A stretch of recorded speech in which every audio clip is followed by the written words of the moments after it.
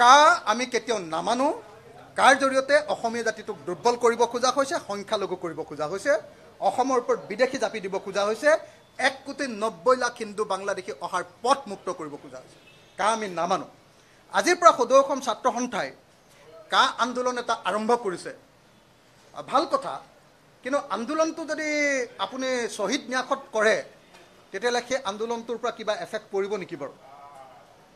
শ্বহীদ ন্যাসত পতা নিজৰ অফিচত পতা আন্দোলন এটা সেইটোৰ কিবা ইম্পেক্ট জনগণৰ ওপৰত পৰিব নেকি বাৰু? যি সময়ত গোটেই দেশৰ মানুহ ওলাই আহিছিলে গোটেই অসমৰ মানুহ ওলাই আহিছিলে সেই সময়ত মানুহবিলাকক ৰাজপথৰ পৰা লৈ গৈ খেলপথাৰত ভৰাই দিলে। এতিয়া মানুহবিলাক যেতিয়া শুই নিপালি দিলে এতিয়া কৈছে যে আমাৰ কাৰ্যালয়লৈ ওচৰলৈ আহা আমি এটা আন্দোলন কৰিম। ক'ত হ'ব আন্দোলন? এইটো আন্দোলন নহয়।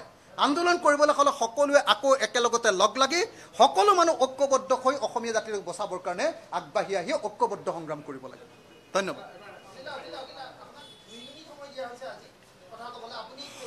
মোক মোক মোক দুই মিনিট নহয় এক দশমিক ন এক দশমিক ন মানে দুই মিনিটতকৈ অকণমান কম সময় দিয়া হৈছে। এক দশমিক ন মিনিট। দুই মিনিটতকৈ অকণমান কম। মই অধ্যক্ষ মহোদয় বুলি কওঁতে ত্ৰিছ ছেকেণ্ড যাব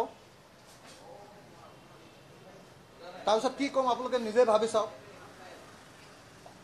তাৰপিছত মই কথা এটা কৈ দিয়াৰ লগে লগে সিফালৰ পৰা হুলস্থুল কৰি দিব।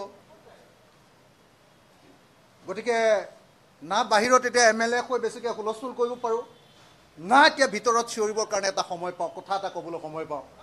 মোৰ অৱস্থাটো কি হৈছে আপোনালোকে জানিছে? গতিকে মাথাটো গৰম হৈ আছে আৰু। দেখিব আকৌ দেখিব।